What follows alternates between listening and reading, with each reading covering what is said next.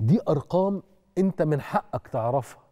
البعض استفاد من اللي بيسمعونا هو كده عمليا مش البعض كتير من اللي بيسمعونا أو أغلبهم استفادوا من ده وفي ناس تانية ما استفادتش من ده.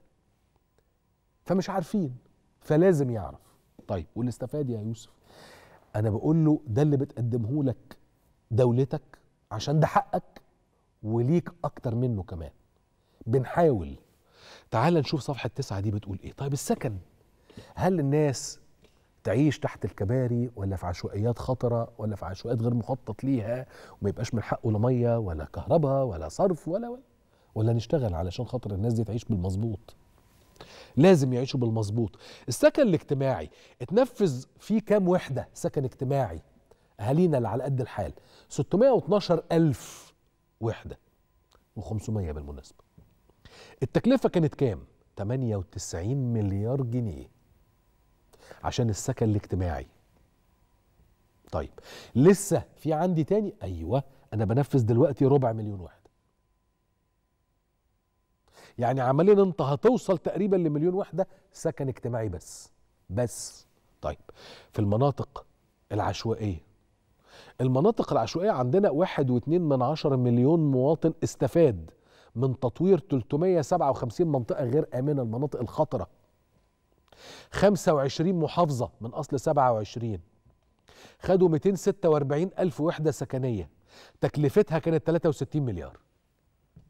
تعال نشوف المناطق غير مخططة. عزبة الهجانة على سبيل المثال من المناطق غير المخططة. ده مثلا الدويقة منطقة خطرة أو كانت يعني. 318 مليار جنيه لتكلفة ورفع كفاءة البنية الأساسية في مناطق غير مخططة. 58 منطقة. على قد إيه بقى؟ 4595 فدان يا مؤمن. فيهم تقريبا 460 ألف أسرة.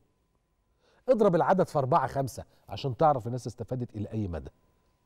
ده غير 90 منطقة بمساحة تقريبا 10047 فدان بنشتغل عليهم وجاري من الانتهاء أو جاري الانتهاء منهم. دول بيخدموا لوحدهم مليون أسرة. يبقى أنا بتكلم في حوالي مليون ونص أسرة. يا دين النبي. طب الأسواق غير العشوائية. حيث الهرج والمرج.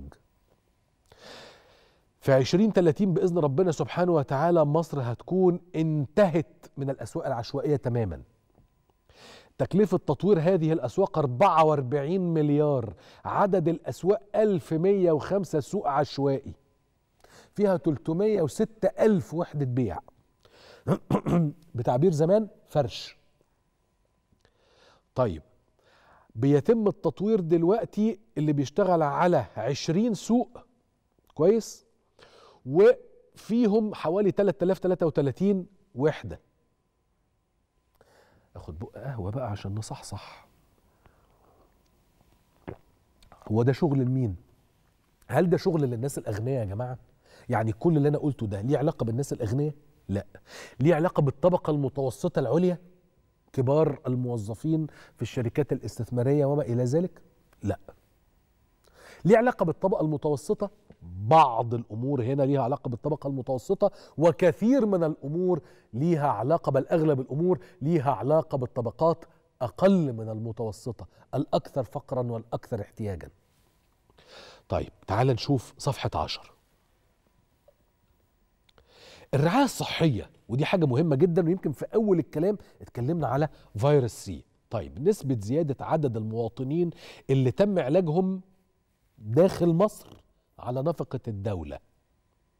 زادوا قد إيه في المية؟ 108 في المية. ماشي. طب كان بيتصرف أو كان كام مواطن تقريبا؟